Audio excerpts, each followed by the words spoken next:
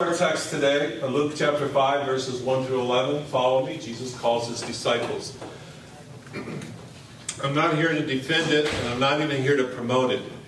But for my personal journey, I have fallen in love with the chosen. And one of the scenes that I've watched several times, I'm going to show you. And this is the scene of Luke chapter 5, verses 1. Put that down for a catch. Through 11. A little farther out. I don't have a quarrel with you, teacher. But we've been doing this all night.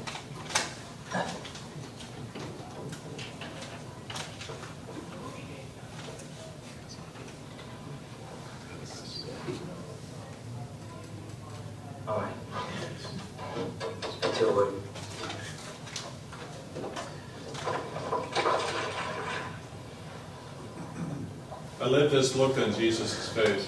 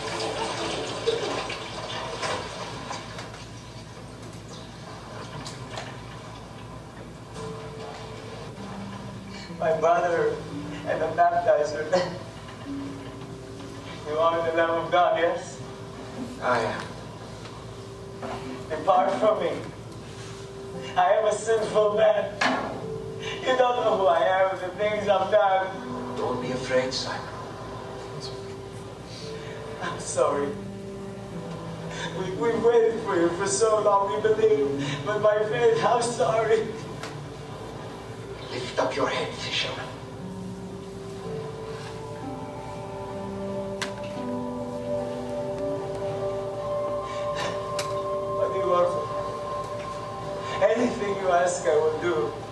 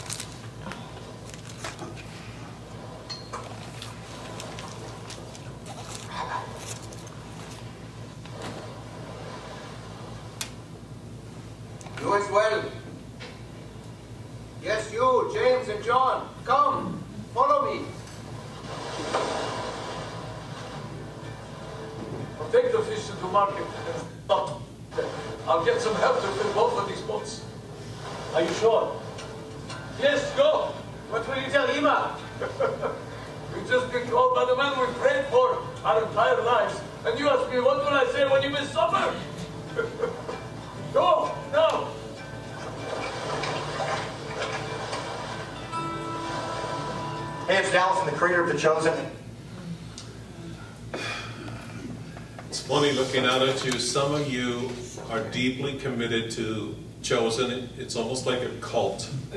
You were smiling from ear to ear, and others thought it was good. But uh, how many of you do enjoy The Chosen? Yeah, it's, for me, it, it's been wonderful. So let's look at our text.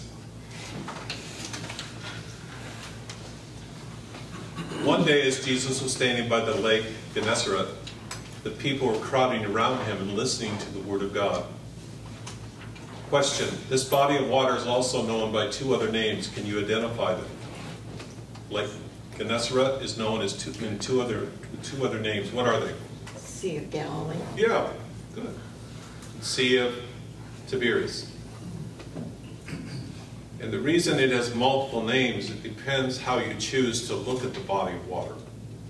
Gennesaret has these, this uh, fertile plain northwest of the water.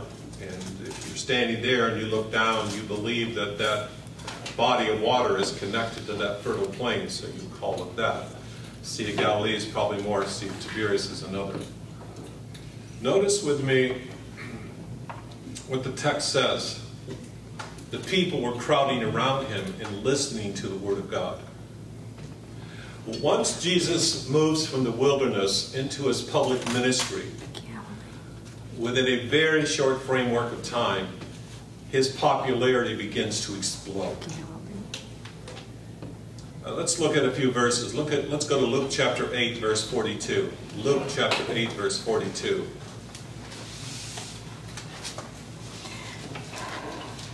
Amy, can you read that for us? Luke chapter 8, verse 42.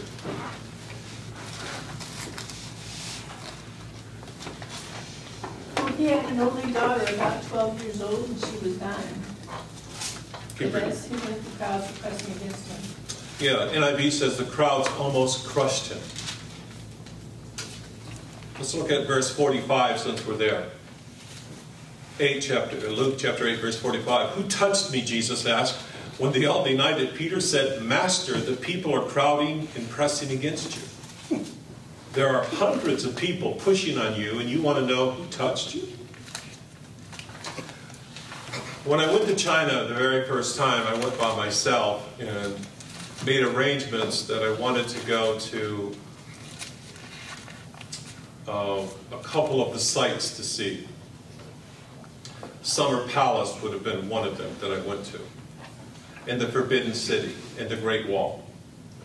The Forbidden City has um, an enclosed large area with walls, and as you go in, there are different buildings within that in which uh, people of importance used to live in. And then there are these passageways that are probably almost the length of our church and maybe as high but arched down and probably as wide as.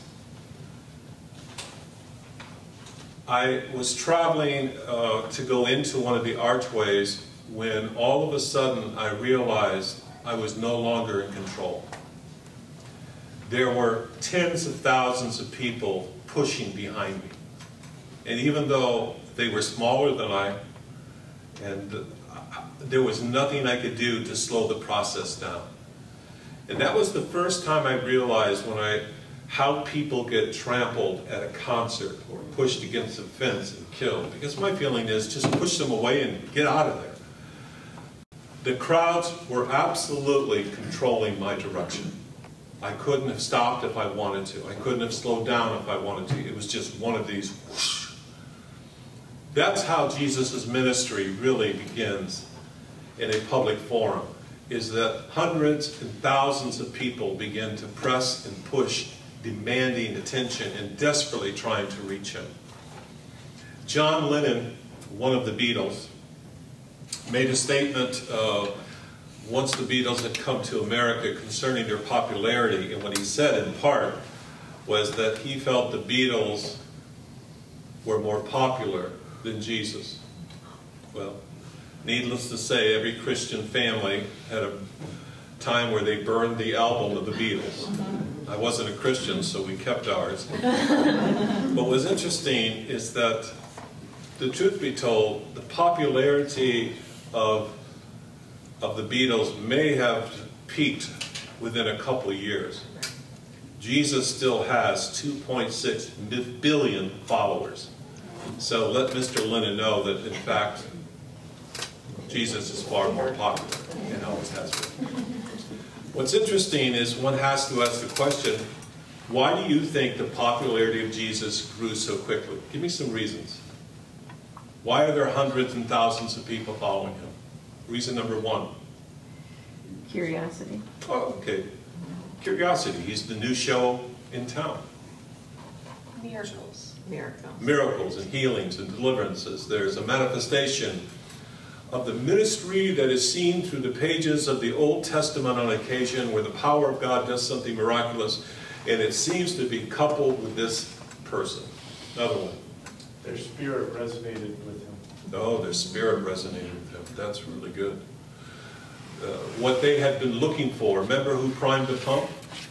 John the Baptist.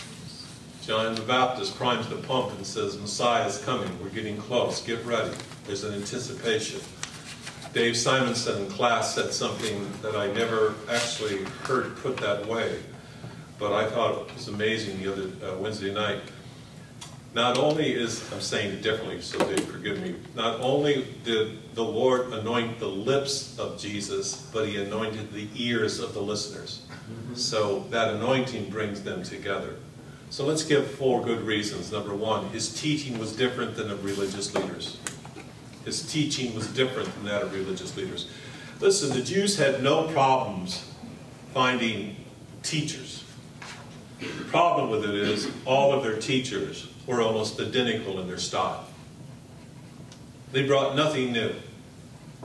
You heard it one time, you heard it a hundred times. They had a tendency to quote speakers of yesterday as if they were people who had authority. Jesus' teaching is drastically different.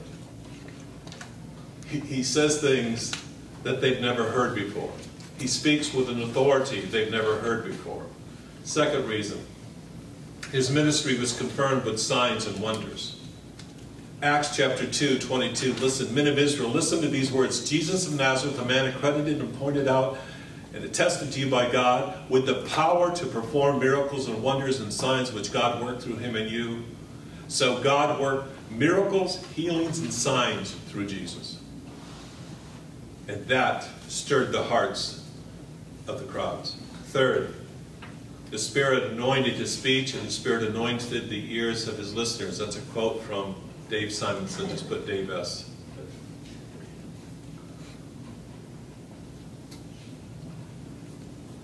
Another reason it spread so fast is six months John the Baptist spent. Is that the word, right word for peaked? I'm so proud. Bev must have helped me. Uh, John the Baptist piqued the interest speculation about the coming Messiah. And the Spirit of God is stirring the pot. Now let's, let's go back to our original text, 5.1. According to Luke 5.1, what were the people listening to? The what? Word of God. The Word of God. This is an expression that Luke absolutely loves. Luke 8, 11, 21, 11, 28, Acts 4, 31, 6, 2, 7. He uses approximately 14 times within Luke and in Acts this phrase, the Word of God. There's a magazine, it's called Christianity Today, and Jay Ortez entitled an article, it was very interesting, Five Dangerous Trends in Preaching Today. Five dangerous trends in preaching today. I won't give you all five, but here's a couple. He says there is a preaching identity crisis of historical proportion in the evangelical world among millennial pastors. What, what is a millennial? What's the age group? Young. Said, said grandma. Born 1980 and on, I think. What is it? 1980 and All right, so, looks like everybody in here is safe. In this article, Ortez says, these pastors are often seen as hipster pastors. In the Assemblies of God, we have a young pastor who desperately trying to make a name for himself. And he goes out of his way with his wardrobe. He wears what's called tight jeans. Is it skinny jeans? I call them tight jeans. And I told him, I said, I was wearing those in the 70s because of my weight problem, but it had nothing to do with money. I, I don't know how I feel about the term hipster pastor. I don't even know how to define it, but I do feel I can identify it when I see it. Third thing he says, often in our crisis, Ortez says, often people pleasers, pastors are people pleasers more than God pleasers. Again, uh, yeah, go ahead. I met a pastor yesterday from the Cornerstone Baptist Church on Miller Road, and he's 26. And I looked at him and I thought, how can you be a pastor of this huge church and only be 26? That's what I thought in my mind, because I was asking him about their, their, they do the Bible, or King James only. He said, well, that's kind of the tradition here, but it's not the only one I use. Is that what he said? He's shifting a little bit. Well, for the record, Jesus was not considered a hipster rabbi. He was far more concerned of what God thought about him than what people thought about him. But I will tell you, there is an undercurrent within the church today to please people. You see, years ago, uh, when Gary and I were younger and engaged in the ministry, there was a loyalty geographically to a church. Uh, Your parents went there, maybe your grandparents, and you went there. And if for some reason you didn't click with the pastor, that was almost insignificant. That was your church, and that's where you go to church. And there was an overwhelming sense of loyalty to the church, not necessarily to the leadership, but to the church. So the pastor didn't find it a need to please people. Today, it's not uncommon for people to be willing to pack up their kids and their Bibles and go 3.2 miles down the road to Church A. Because Church A will accommodate one of their needs. And so pastors know if I don't meet the needs of and expectations that everybody has, I'm in danger of losing people. And just so you know, though Pastor Tim would never face that, uh, I did and others do.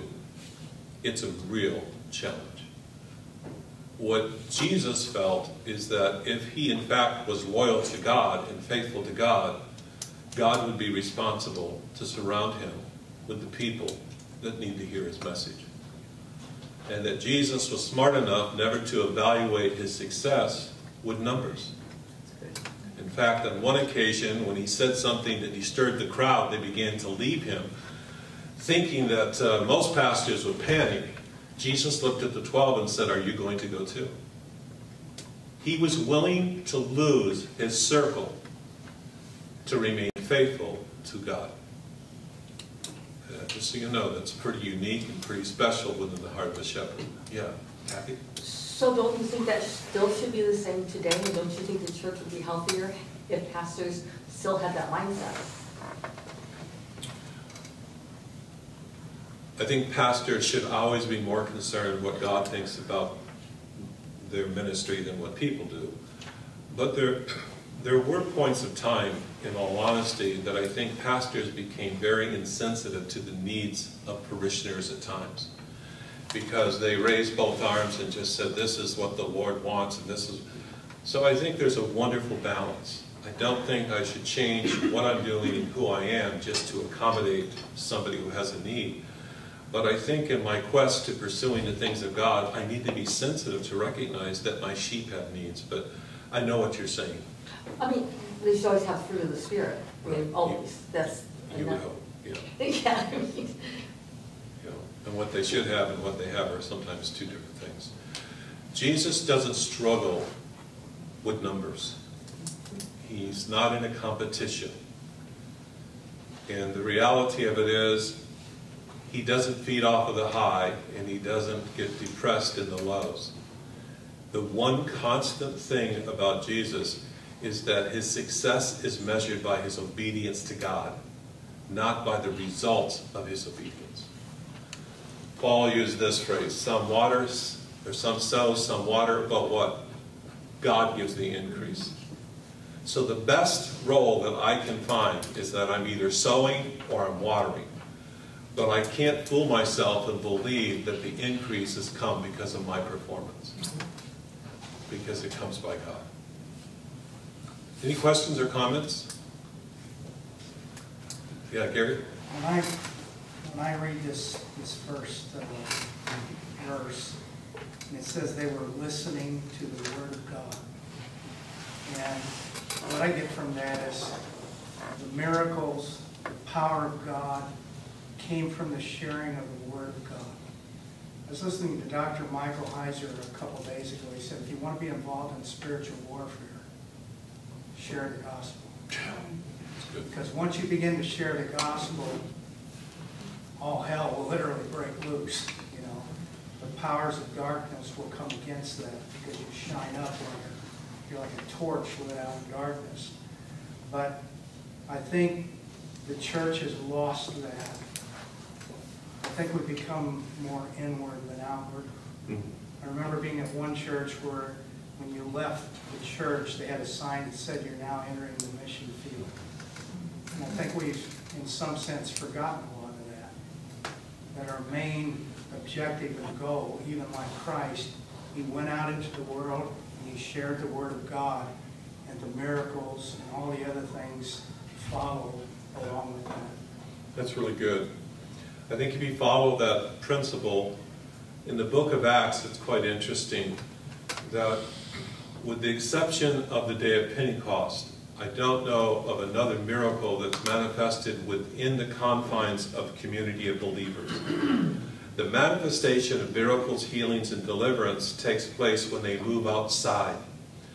I think for most North American Pentecostal charismatics, there is the belief that on Sunday morning we would love God to put the show on for us every Sunday. And that somehow it affirms our faith in Him. It, it, it causes us to, to, to rise in these occasions of trust when we see God heal the sick. I still believe the greatest place for God to do His greatest works are not in the church, but outside the church. And I'm sure I told you this story, so forgive me, but blame it on Gary. When I was youth pastor in Muskegon, uh, I'm going to use the term, and I understand what it means, a sovereign move of God took place. We had hundreds of people, adults and youth, saved. We had what may have been the worst, I was a youth pastor, the worst senior pastor I've ever worked for. He did not like to preach. He had some emotional problems and challenges. But honestly, when he shut up and gave an altar call, people got saved. One of the people that got saved was a man that cleaned carpets. His name was Vern. And Vern called me and said, what are you doing next Tuesday? I said, I don't think I have a whole lot thinking free meal's a free meal. He said, can you go to work with me? I said, doing what? He said, uh, I just drive and clean carpet, but we can talk. I got so many questions about Jesus and the Holy Ghost and the power of God. Can you do that? And I said immediately, yeah, because I knew somewhere in there there'd be lunch and brunch and probably early dinner. I went to the second home and uh, I was helping him get these long tubes out and went inside and the man that owned the home, whose daughter had called to have the carpet cleaned, was a veteran who was in a wheelchair that had the worst language I've ever heard in my life. I, I've been around, I didn't get saved till, I've heard it all, but not like this. Every word was in top three big boys just coming out of his mouth. So my feeling is what? Clean the carpet, let's move on. Not my friend. My friend goes, are you having a bad day? I'm a cripple! And then he went into this 10 phrase sentence that only had uh, two words other than some curse words. What is my thought? Where do I turn on the suction thing? Let's get this. so Vern says, you know, I'm a Christian. Don't give me that. And then we went off to Christian. Don't tell me about your God. So Vern, he's a new Christian. Here's what he says. I'm going to pray for you. And if you're not healed, I'll admit there's no God. But if you're healed, you'll have to admit there's a God and that he loves you. Now, what am I thinking now? so, as he goes through the process of praying, because you guys, go ahead, yeah, what's today? Yeah, go, go, go. so, what I'm thinking while Vern's praying, because Vern prays, I'm thinking when I get in the van, this is why I'll tell him that God didn't heal him. You can't put God in a box and you can't. So as I'm going through this, of course, I have my eyes open and I'm playing like I'm worshiping, but I'm really saying, God, please help me to deal with Vern. He won't understand why you don't heal. And all of a sudden, the man in the wheelchair began to cry. Now, when he cries, my attention shifts to him, and the next thing I know, he takes his hand and he pushes up on his sides, and he stands up and raises both hands. Gloriously saved, by the way. Miraculously converted. Miraculously healed. In fact, that person ended up coming to our church, and seven years later was a board member for one year before he died. Now, we got back in the van, what do you think I tell Vern? That's how we do it. I had been raised in an environment that you didn't often take God outside of the church because you felt you could damage his reputation. You kept him inside of the playpen with Christians because they could tolerate whatever decision God made, yes or no. Now, I don't think it's appropriate to go to everybody and make that deal. I don't think that's how God chooses. But I will tell you this God is far more interested in manifesting his power to unbelievers than to affirm faith of believers. Doesn't mean you're not in a position to get healed or delivered, of course not. But I'm just telling you, from a New Testament perspective, Jesus is used by God to manifest his presence with the preaching of the word to people who were not believers, far more than when he met privately with the 12 or the 70. So I think that's a point. So it is interesting to note that although they're intrigued by the miracles, what captures their long-term interest is connected to the Word of God. Let's go to verse 2. We saw the water's edge two boats left there by the fishermen who were washing their nets. Um, the problem Jesus is having at this body of water is that the crowds have come and there's no place for him to escape.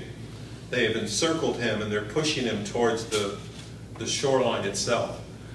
They, they will follow him into the water to touch him or to be close to him. He realizes that with people so close to him, his voice will not carry properly for those who are extended 20 rows behind. So he looks and he discovers there's two boats on shore. The reason they're on shore is they have fished all night.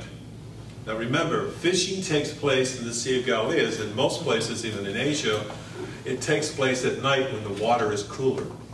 The fish move from deep water to cooler water. And what happens, it's more accessible with the nets to fish at night than it is during the day. No fisherman in their right mind in this first century would have used dragging nets in, in the day. They only use them at night. So during the day, when they pull up their boats, they take their nets out, they mend them, and they clean them. Jesus noticed these two boats were unoccupied.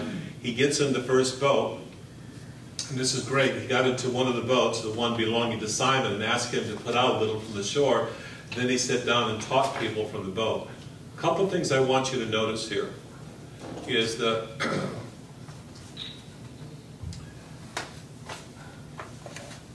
that he makes a request to Simon. What is the request from Simon? To move the boat. To move the boat. A short distance. If you're taking notes, write this in your little column. Because this is what I wrote down. This is Peter's first expression of obedience. It seems insignificant, doesn't it? He probably puts Jesus out in the water, I don't know, 15 feet, 20 feet, 25 feet. It's pretty simple. This is his first step. Have you ever noticed that people, we often struggle saying yes to God in areas that we feel we're capable of handling without His instruction? Yeah, God, you want me to do this? I don't really understand that. I'll do it. Whatever you want me to do, I'm here available. But when God talks to me about an area that I feel I know what needs to be done better than what He needs to be done, I usually don't do it. Simon's facing one of those challenges right now. So Simon answers, Master, we worked hard all night, haven't caught anything, but because you say so, I will let down my nets. If Simon doesn't obey the first command, I would suggest to you there is no second command. If he doesn't show himself faithful in the little things, there will not be the bigger thing to follow. Jesus is called Master here for the first time in the Gospel of Luke. It's interesting to note that Mark and Matthew refer to Jesus as teacher and rabbi only. Luke is the only one that uses master. Uses in 824, 45, 933, 49, 17, and 13. This must have been humbling to Simon Peter because remember, there's an audience there, a large audience. and this fisherman who's tried to create a reputation for himself has just discovered that a carpenter is giving him instructions on when, where, and how to fish. But he chooses to humble himself. When they had done so, they caught such a large number of fish that their nets began to break. So they signaled their partners in the other boat to come and help them, James and John, the sons of thunder. And they came and filled both boats so full that they began to sink. When Simon Peter saw this, he fell at Jesus' knees and said, Go away from me, Lord. I am a sinful man. There were two things that occurred through this miracle that Jesus performs. The first one, if you're taking notes, Simon becomes aware of Jesus in a new way. He fell at his knees. He uses the word Lord. And the second thing I want you to know, Simon became aware that he was a sinful man. Go away from me, Lord. I am a sinful. Remember Isaiah chapter 6, verse 1? I saw the Lord seated on a throne high and exalted. And then the next verse, verse 5, he says, Woe to me. There's this expression that when I see the glory of who God is and what he can do, and then I look at my own life, there is such separation from where he is and where I am that it magnifies his lordship, but it also magnifies my sinfulness. We talked about some of the things that I would like to see the church, not New Life Christian Fellow, but the global church experience before the coming of the Lord. I would like to see a real baptism of becoming, having a reverence and a fear of the Lord from a, new, from a, a biblical perspective that I think is long overdue. So that we don't fear him in the sense that we're afraid, but we fear him in the sense that our respect for him is so great that it magnifies who he is, but it also reflects who we really are and usually calls for repentance. Job chapter 42, Job has this experience, my ears have heard of you, but now my eyes have seen you, therefore I despise myself and repent in dust and ashes. When I see you here, I see myself here. When, I, when Peter saw the glory of who Jesus was because of what he had just proclaimed, he sees himself here. I think it would be a really good experience for the global church to get that in perspective who God is and who we are. What's interesting is what follows. For he and all his companions were astonished at the catch of fish they had taken. And then Jesus said to Simon, Don't be afraid from now on, you will fish for people. The rules of fishing for fish and the rules of fishing for people are almost reversed. In fish, they tell me, I haven't had luck at this, but you catch live fish and then they die. In searching for men, you catch dead fish and God brings them to life. So there's this reversal of experience. So verse 11, they pulled their boats up on shore, left everything and followed him. Everything changes from this point on for the disciples. They have abandoned their responsibilities and they have decided to commit their ways unto the Lord and follow him. The next 16 months, they will be transformed. They will be turned inside, outside, outside, inside, and they will have a journey that will change them forever. Any questions about our miracle or any comments? Yeah. This occurs before Peter acknowledges that Jesus is the Messiah. And I'm just wondering, what's the precedent for him to use the word Lord when he addressed him? Well, why does he use the word Lord? Yeah. I don't think it's necessarily acknowledging that he's looking at the incarnated God. It is one of the words used in the deepest respect of a spiritual leader in the sense that this is somebody that, that's probably why Matthew and uh, Mark prefer to use the word rabbi or, or, or teacher at this stage of the game. So it is surprising that Luke would record that, but whatever it is, it is of such respect that he's willing to abandon his job that's been providing for him and his family. And what's interesting is, Terry, is that there is no indication of what type of commitment Jesus is calling them to. Come follow me for the day. Did they really know that their the commitment was going to be for life? Did they ever go back and fish while they were in relationship with Jesus? If Jesus is struggling to pay taxes because he doesn't have money in his purse, how did the families of these men survive in the absence of their husbands? But that's a good question. Whatever it is, he recognizes that Jesus is different than any other teacher, and he's willing to follow. Pastor Tim?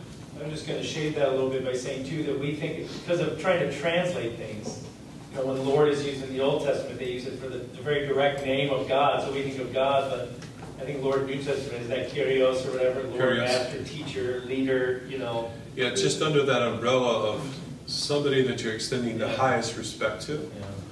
And, uh, and so it could have been used in a different context. He is not believing that Jesus is the incarnated God from the Old Testament. What do you think they knew about him? They had heard all the rumors? Well, there's not a whole lot of rumors to this point. There's some.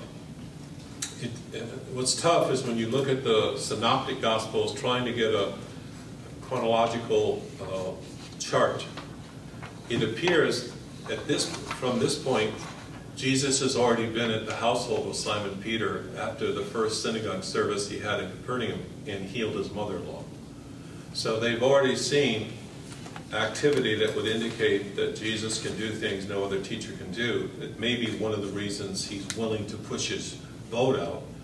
You know, he healed my mother-in-law. I'm not sure how I feel about that. Uh, but I, I respect him. But they have no idea what's waiting for them. They are all, including the men working on their nets, they are all intrigued by his teaching of the Word of God. Were there other spirits that could heal people? Would that be just a different person that was healing people at that time? Yeah, I'm, you know, obviously, I don't have information to say with 100%. There's no indication within secondary sources that Israel is experiencing anyone else who can bring healing. Now, between Malachi and the New Testament, there are a number of people who claim to be Messiah, but they don't have any power to back it up. They usually are more of a zealot, trying to say that it's time we rise up, it's God has sent me to deliver you from the yoke of Rome, but there's no indication that they have any miraculous power. So there were others who claimed to be Messiah, but no one else had the power to back it up except Jesus. Another question or comment?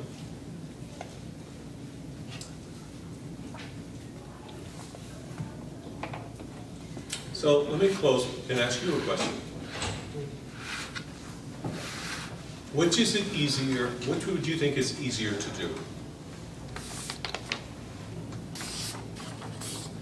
For Simon to leave his fishing business and follow Jesus, or for you to follow Jesus?